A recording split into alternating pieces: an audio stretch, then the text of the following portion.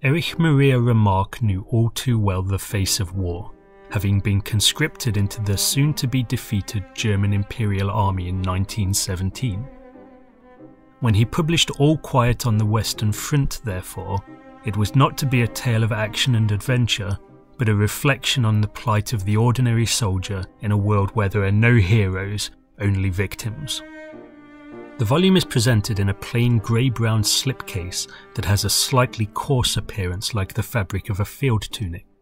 This lends it a crude utilitarian austerity that makes the book look like it might have been provisioned for supply at the front. The book is bound in beige cloth, though it feels a bit like buckram, printed with a brown design of a desolate, war torn landscape.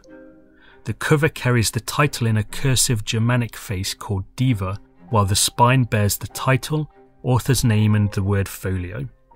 I found the printing on the cover to be a bit prone to rubbing. My copy has an unsightly scratch to the rear and rubbed corners. To prevent further damage, I now keep it wrapped in a protective mylar dust jacket.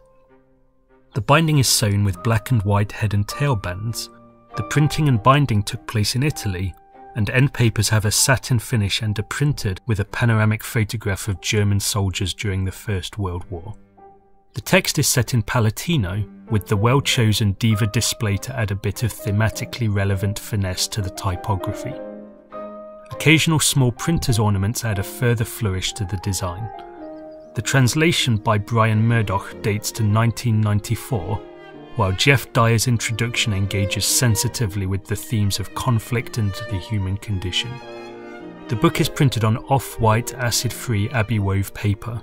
It is illustrated with nine black and white photographs of German soldiers, including the frontispiece, which is a photograph of Remarque himself. Each is printed on glossy photographic paper, and the reproduction is both clear and sharp. This book was banned by the Nazis, usually a definite certification of quality. Indeed, while much of the novel has an element of farce, this is no comedy but a masterful polemic on the folly of conflict. I find it to be a powerful and incisive condemnation of war and those on whose behest it is waged, at once both enlightening and moving.